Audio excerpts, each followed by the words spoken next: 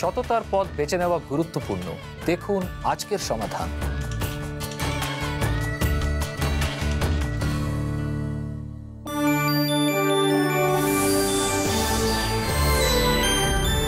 এটি সিবিএন এর প্রস্তুতি। আর আপনারা দেখছেন সমাধান। আজি এ হৃদয়ে বাজে। আজি এ হৃদয়ে বাজে। আজি মোরা নত শিরে দুই হাত খোঁজে ফেরে।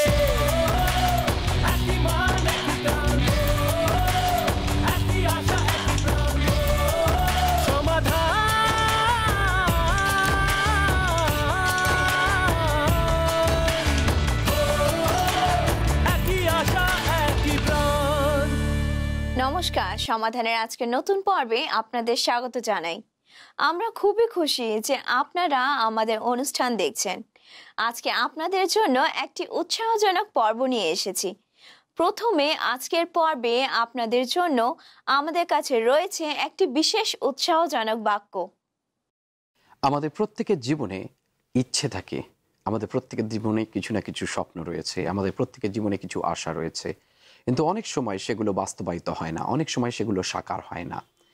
আর তার প্রধান কারণ হলো, অনেক সময় আমরা ভুলে যাই যে ঈশ্বরের হাতে সেগুলোকে সমর্পণ করার। বাইবেল বলছে, তোমার কার্যের ভার সদাপ্রভুতে সমর্পণ করো, তাহাতে তোমার সংকল্প সকল সিদ্ধ হইবে। অনেক সময় আমাদের জীবনে দুর্ঘটনা ঘটে, কেননা জীবন আমাদের নিয়ন্ত্রণে নয়। কিন্তু আমরা তার হাতে দিতে পারি যিনি সময়কে নিয়ন্ত্রণ করে, যিনি এই পৃথিবীকে নিয়ন্ত্রণ করে চলেছে নিত্যদিন। তার হাতে আমাদের স্বপ্নগুলোকে, আমাদের আশাগুলোকে, আমাদের ইচ্ছেগুলোকে আমরা সমর্পণ করতে পারি। আপনার জীবনে হয়তো অনেক স্বপ্ন রয়েছে, আশা রয়েছে, ইচ্ছে রয়েছে, সেটা চাকরির ক্ষেত্রে হতে পারে, সেটা শারীরিক অসুস্থতার ক্ষেত্রে হতে পারে, সেটা অন্য কোনো স্বপ্ন হতে পারে। কিন্তু আজকের আপনি এবং আমি সেই ঈশ্বরের হাতে আমরা দিতে পারি আমাদের স্বপ্নগুলোকে, আমাদের ইচ্ছেগুলোকে। যিনি আমাদেরকে ভালোবাসেন, যিনি আমাদের বিষয় চিন্তা করেন, তাই জন্য আসুন আজকের এই দিনে আমরা আমাদের স্বপ্ন, আমাদের ইচ্ছে, আমাদের আশা, আমরা সমস্ত কিছু তার হাতে সমর্পণ করি, অর্পণ করি। এটি কত আশ্চর্যজনক বিষয় যে ঈশ্বর, যিনি এই জগতের সৃষ্টিকর্তা, আপনাকে ও আমাকে কত ভালোবাসেন। তিনি আমাদের জন্য চিন্তা করেন। যখন ঈশ্বর আমাদের পথ প্রদর্শন করেন, তখন আমরা জানতে পারি যে আমাদের কোন দিকে যেতে হবে। তিনি আমাদের বেছে নিতে এবং ধার্মিকতার জন্য দাঁড়াতে সাহায্য করবেন। তার পরিণতি যেটাই হোক না কেন, কোনো ব্যাপার নয়। শুভম তত্ত্বের জীবন বদলে গিয়েছিল। যখন তিনি প্রভু যিশুকে অনুসরণ করার সিদ্ধান্ত নিয়েছিলেন। কিন্তু এই পরিবর্তনের সাথে এসেছিল একটি কঠিন নির্ণয়, যেটি তাকে নিতে হয়। তিনি সেটি ঠিক বলে বিশ্বাস করছিলেন। তিনি কি সেটার জন্য দাঁড়াতে পেরেছিলেন? আসুন, এখন তা দেখব। নমস্কার, আমি শুভম দত্ত।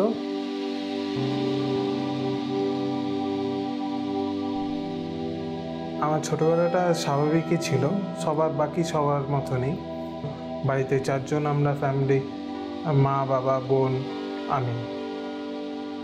আমাদের যে বিজনেসটা ছিল, সেই বিজনেসেতে সাডেনলি একদিন চুরি হয়। সেই সময় খুবই দরিদ্র অবস্থায় চলছিলাম আমরা। আপনাকে, আপনাদেরকে জাস্ট আমি একটা এক্সাম্পল দিতে চাই, সেটা হচ্ছে একটা ডিম নিয়ে আসা হতো, সেটাকে ভাগ করা হতো চারটে ভাগে। ভাগ করে আমরা চারজনে খেতাম। সেই সিচুয়েশনে দাঁড়িয়ে আমি পড়াশোনা ছাড়তে বাধ্য হই। দিল্লিতে গিয়ে আয়রন ম্যান হিসাবে জয়েন করি। একটা গার্মেন্ট ফ্যাক্টরিতে দিল্লিতে এমন একটা গরম, আর সেই গরমেতে তার মধ্যে আয়রন প্রেস করতে হবে ওটা টু মাচ আমার কাছে ছিল। তারপরে আমি কাজ শুরু করি, কাজ শুরু করার পরে যে সুপারভাইজার ছিল, তো একটা কম্পিউটারে গ্রাফের ভেতরে কাজ করছিল এক্সেলের সে খুব স্ট্রাগল করছিল সেই ব্যাপারটা নিয়ে। আমি তখন বললাম সে স্যার, আমি আপনাকে হেল্প করতে পারি? তো আমি সেটা গ্রাফটা তৈরি করে দিয়ে দিলাম। জিএম আমাকে বলল, আজকের থেকে তুমি ওর সাথে কাজ করবে, ওর অ্যাসিস্ট্যান্ট হিসাবে। তো আমি এরকম কাজ শুরু হলো আমার। পাঁচ বছরের মধ্যে আমি কঠোর পরিশ্রম করে আয়রন ম্যান থেকে একটা ম্যানেজার পোস্টে চলে যাই। তারপরে ম্যানেজার থেকে ডিফারেন্ট কোয়ালিটি কন্ট্রোলেতে চলে গেলাম। তো এরকমভাবে আমরা, আমি আরও এগোতে থাকি। বাড়িতেও সেরকমভাবে হেল্প করছি, তাতে বাড়িতে অনেক ব্যাপারটা লাইট হয়ে যায়। একজন আসছে, তাকে এয়ারপোর্ট থেকে রিসিভ করতে হবে। তো আমি সেখানে যাই এয়ারপোর্ট থেকে রিসিভ করতে। তো আমি রাস্তায় আমাকে সেই লোকটা বলছে, আমাকে একটা চার্চে দেখাতে পারবে? আমি বললাম যে, ঠিক আছে। নিয়ে গেলাম। নিয়ে যাওয়াতে ফার্স্ট ডে একটা গান সেখানে বলছে হাইড মি নাও তো আমার কাছে সেই গানটা আমাকে খুব টাচ করল। এরকম করে আস্তে আস্তে আমি যেতে শুরু করি। আমাকে ভালো লাগতে শুরু করে। সেখানে যে পাঁচটা তার সাথে আমি কথা বলি। তো আমি ডিসাইড করলাম যে ওকে আমি এই চার্চে গিয়ে আমার লাইফটা চেঞ্জ হচ্ছে। টু থাউজেন্ড ফাইভেতে আমি প্রভু যিশুকে গ্রহণ করি।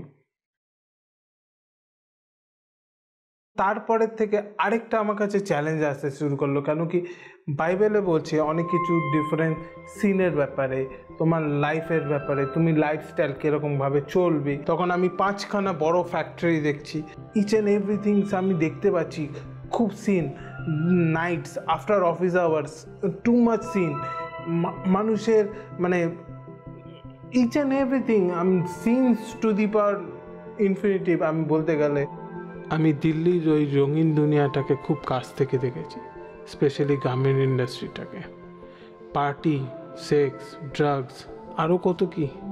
একদিক থেকে আমাকে বলছে, ওইগুলো করা পাপ, কিন্তু আরেক দিক থেকে আমি ওইটার ভেতরেই ঢুকে যাচ্ছি। ব্যাপারগুলো আমার কাছে খুব খারাপ লাগছে। আমি এরকমভাবে থাকতে পারব না, কেন কি? আমার ভেতরে খুব দ্বন্দ্ব হচ্ছে। ডে অ্যান্ড নাইট আমি এই জিনিসটাকে নিয়ে সংগ্রহ করছি। তো একদিন আমি ডিসাইড করলাম, না, এরকমভাবে চলবে না।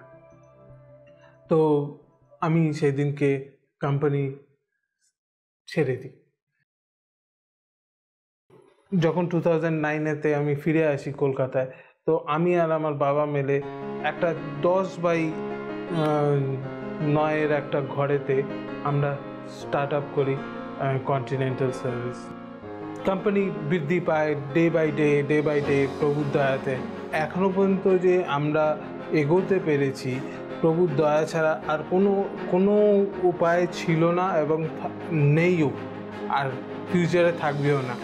আমি কোনোদিনও ভাবতেও পারিনি যে আমি এই স্ট্রাগল থেকে যেগুলো আমি এত সংগ্রাম করে এসেছি, এত কিছু করা, এত দারিদ্র সব কিছুর থেকেও আস্তে আস্তে আস্তে আস্তে প্রভু আমাদেরকে হেড বানাচ্ছে।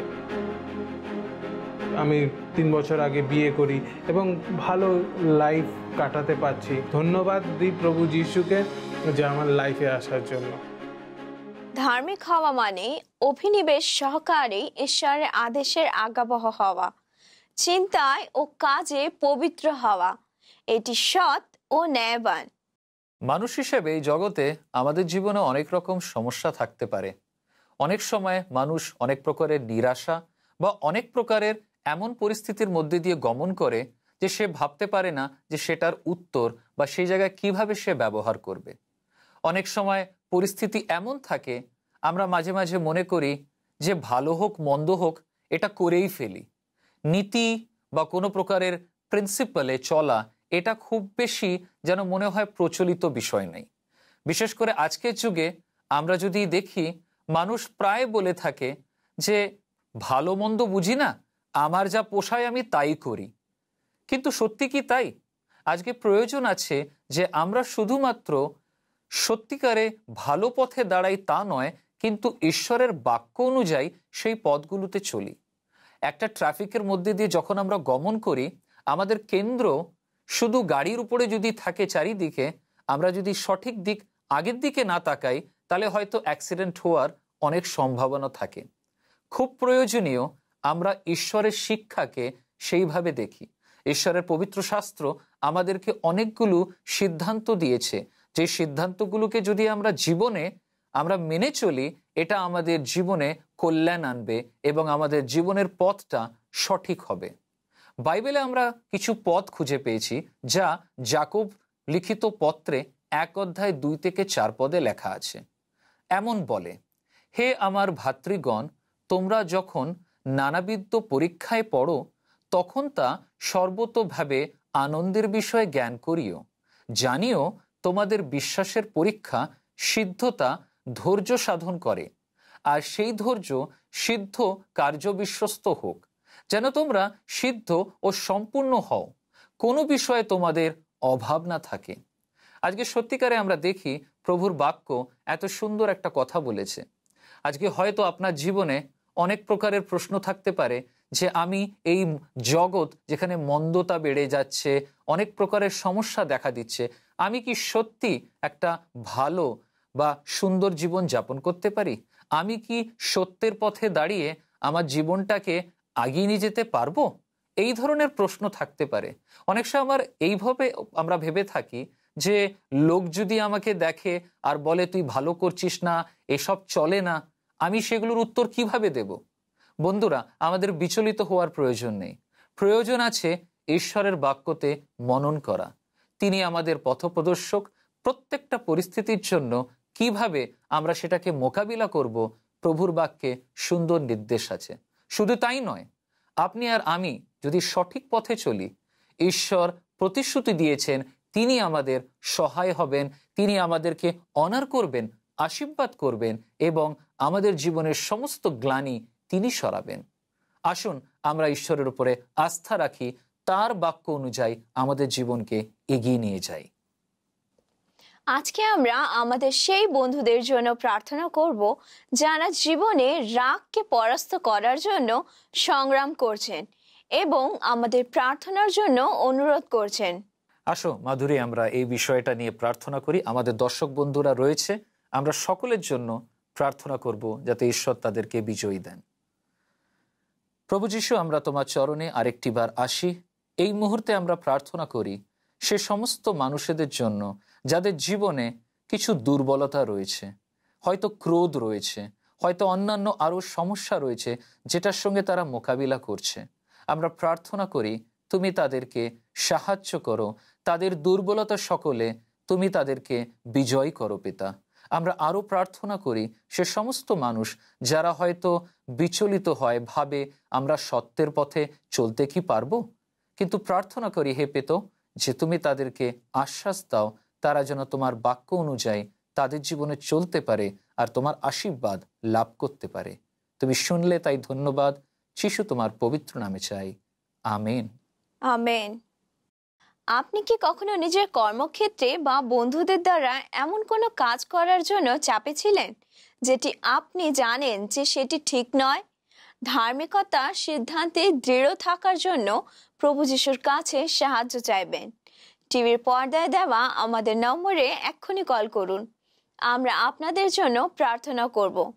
ছোট্ট একটা বিরতির পর আবার ফিরে আসছি। দেখতে থাকুন আপনাদের প্রিয় অনুষ্ঠান সমাধান।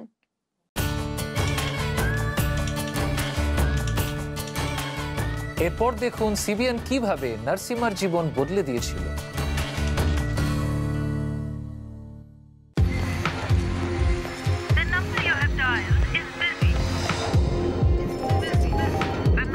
trying to reach is out of coverage area.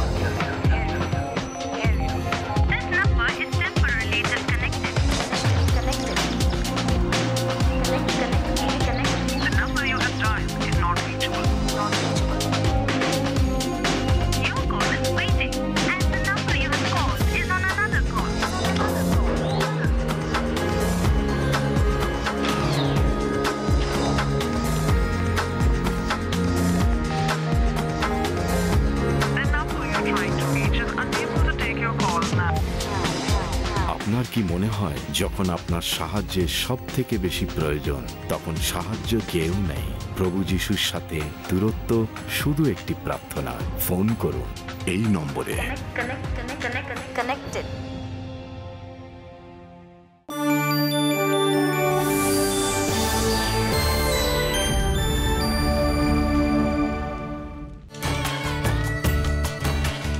সমাধানে পুনরায় আপনাদের স্বাগত জানাই। আমাদের দেশে যখন একজন ব্যক্তির একটি চেরা ঠোঁটের সমস্যা হয়, তখন সাধারণত মানুষেরা তাদের মাতা পিতাকে দোষারোপ করে। তারা বলে, নিশ্চয়ই তারা কোনো ভুল করেছিল অথবা তাদের নিয়ে ঠাট্টা করে এবং অপমান করে। নরসিম্মাকে আবির্ভাবের জন্য তার বন্ধুদের সামনে উপহাসের ভুক্তভোগী হতে হয়েছিল। আসুন এখন দেখব যে সিবিএন কীভাবে তাকে সাহায্য করার জন্য এগিয়ে এবং তার জীবন বদলে দিয়েছিল। সবসময় বাড়ি থেকে বের হওয়ার সময় তেরো বছর বয়সী নার্সিমা সচেতনভাবে একটা রুমাল দিয়ে তার মুখ ঢেকে নেয়। তিনি একটা চেরা ঠোঁটের সাথে জন্মগ্রহণ করেছিলেন। সে জন্মগ্রহণ করার সঙ্গে সঙ্গে তারা আমাকে ডেকে বলে যে আমার ছেলে বড় মুখ নিয়ে জন্মেছে। এটা আমার জন্য খুবই বেদনাদায়ক ছিল। আমার এটা চিন্তা করেই খুব কষ্ট হচ্ছিল যে তিনি কেন এইভাবে কথা বলছে।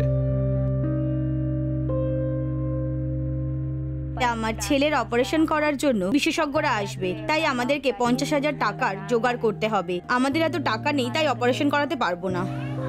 নরসিংমার বাবা সত্যনারায়ণা এক গরিব জেলে। তিনি তীরে গিয়ে মাছ ধরতেন সারাটা বছর তিনি খুব চেষ্টা করেছিলেন কিন্তু অপারেশনের জন্য টাকা জোগাড় করতে অসফল হয়েছিলেন। আমরা দিনে দেড়শো টাকা আয় করি যেটা আমাদের দৈনন্দিন জীবনের চাহিদা পূরণ করার জন্য যথেষ্ট নয়। যদিও আমরা অন্য কাজ করতে চাই কিন্তু আমাদের এই কাজটি শুধুমাত্র একই সময়ে হয়। আমাদের কোনো সামঞ্জস্যপূর্ণ আয় নেই। তার অক্ষমতার সাথে নরসিংহা খুব কষ্টে খেতে পারত এবং এটাই তাকে দুর্বল ও প্রায় অসুস্থ করে দিত। সে শুধুমাত্র মুখের এক পাশ থেকে খেত এবং কখনো কখনো খাবার তার নাক দিয়ে বেরিয়ে আসতো। সে অনেক কষ্ট ভোগ করছিল, এমনকি জল পান করার জন্য তাকে গ্লাস উঁচু করে জল খেতে হতো। সে খেতে পারতো না। সে শুধু দই বা স্যুপের সাথে খেতে পারতো। সে খুব কষ্ট পেত। সত্যনারায়ণা এবং রাজেশ্বরী খুবই কষ্ট হতো যখন সবাই নরসিংহাকে নিয়ে ঠাট্টা করত। যখনই তার বন্ধু বা প্রতিবেশীরা তার নাম নিয়ে ডাকতো আমার খুব কষ্ট হতো। এমনকি এখনও আমার কষ্ট হয়। সিবিএন নরসিংহার অবস্থা জানতে পারে এবং বিনামূল্যে তার অপারেশন করাবার জন্য এগিয়ে আসে। অপারেশনের পর নিজের ছেলের জীবনে পরিবর্তন দেখতে পেয়ে সত্যনারায়ণ এবং রাজেশ্বরী খুবই খুশি হয়েছিল। এখন আমার ছেলে খুব খুশি এবং সে ভালো করে জল ও খাবার খেতে পারে। সে আমাকে নিজেই বলে মাংস খাবার জন্য এনে দিতে। সে ফল সবজি এবং অন্যান্য খাবার খেতে পারে। এখন সে সুস্থ আর এখন খুব ভালো আছে। নরসিংহা খুবই খুশি তার সৌন্দর্য সে কেমন দেখায় সম্পর্কে এবং সে তার আগের মতন সচেতন নয়। অপারেশন হবার আগে সে নিকৃষ্ট এবং দ্বিধাবোধ করত অন্য ছেলেদের সাথে মিশতে। সে পড়াশোনা পিছিয়ে গিয়েছিল। কিন্তু এখন সে আত্মবিশ্বাসী এবং ভালো পড়াশোনা করছে।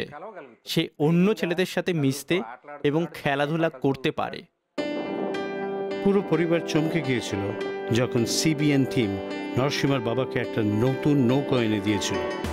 এখন সত্যনারায়ণ সমুদ্রে গিয়ে অনেক মাছ ধরতে পারে। আমি খুব খুশি যে আমার স্বামী নৌকায় করে অনেক মাছ ধরতে পারে এবং পরিবারের জন্য যথেষ্ট টাকা আয় করতে পারে। আগে আমরা তাদেরকে পড়াশোনা করাতে অসক্ষম ছিলাম, কিন্তু এখন আমরা তাদেরকে ভালো শিক্ষা দেওয়ার চেষ্টা করছি। আমি খুবই খুশি যে আপনারা বিনামূল্যে আমার ছেলের অপারেশন করিয়েছেন এবং একটি নৌকো দিয়েছেন। এখন যেহেতু আমার নৌকো আছে, আমার আয় বেড়ে যাবে। নরসিম্মার এই আত্মবিশ্বাস দেখা কত আনন্দের ব্যাপার, তাই না? এখন তার পিতা তাকে ভালো ভবিষ্যৎ দিতে পারবে। প্রিয় অংশীদার, আপনাদের সাহায্যে আমরা এই জীবন রূপান্তরিত করার কাজটি করতে সক্ষম হয়েছি। অনেক ধন্যবাদ আপনাদের উদার দানের জন্য। যদি আপনি আমাদের অংশীদার হতে চান, তাহলে টিভির পর্দায় আমাদের নম্বরে এক্ষুনি কল করুন। আমাদের পরামর্শদাতারা আপনাদের সাহায্য করবেন। আমাদের কার্যকলাপ সম্পর্কে আরও জানার জন্য এবং অনলাইন ডোনেট করবার জন্য ভিজিট করুন আমাদের ওয়েবসাইট ডাব্লিউ আপনারা আপনাদের মানি অর্ডার্স এবং চেকস এই ঠিকানায় পাঠাতে পারবেন, যা হলো CBN foundation peach tree complex third floor block C Sushant Lok one Gurgaon Delhi NCR এক দুই দুই শূন্য শূন্য নয়। এখন সময় একটি ছোট্ট বিরতির। কোথাও যাবেন না দেখতে থাকুন সমাধান।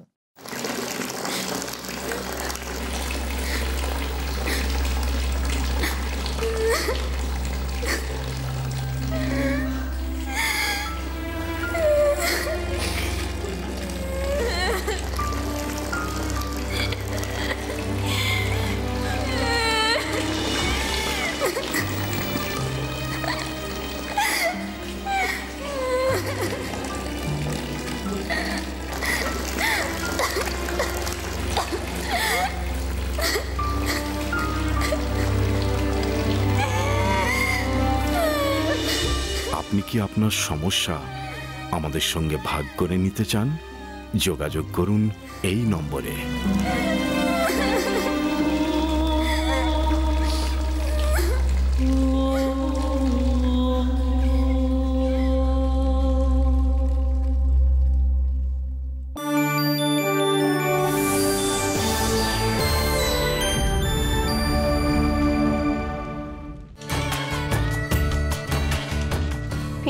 জন্য ধন্যবাদ। আপনারা দেখছেন সমাধান।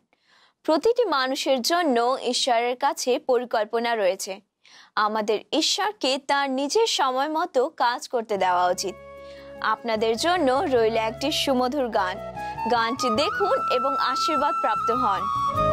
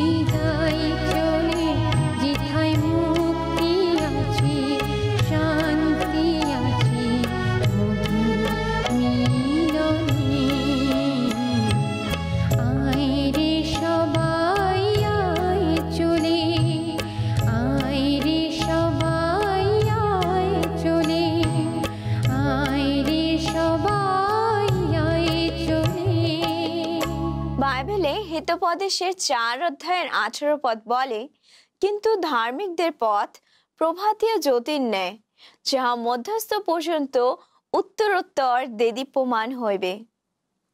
যখন আপনি এবং আমি সত্যের জন্য দাঁড়াবো এবং প্রভু যিশুকে অনুসরণ করব, তখন আমাদের পথ আরও উজ্জ্বল হয়ে উঠবে। আজকের জন্য এ পর্যন্তই। আবার দেখা হবে একই সময়, একই চ্যানেলে ততক্ষণ পর্যন্ত বিদায়। ঈশ্বর আপনাদের আশীর্বাদ করুন। জয় যিশু।